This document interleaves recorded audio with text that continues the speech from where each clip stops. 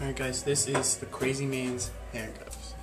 What you do is you take two rubber bands and go all my sleeves here.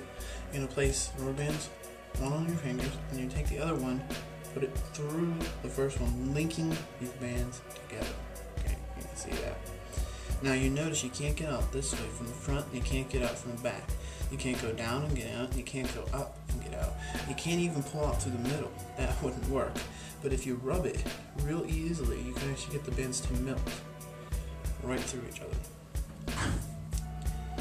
And that's the Crazy Man's handcuffs. Now, um, when you buy this effect, you're not going to just learn that that performance that I just did there. There's a couple other performances you're going to learn, a couple routines to do with this, and um, you're going to learn the size of rubber bands to get, um, the moves to do. You're going to learn everything here. So, um, check it out, Crazy Man's handcuffs.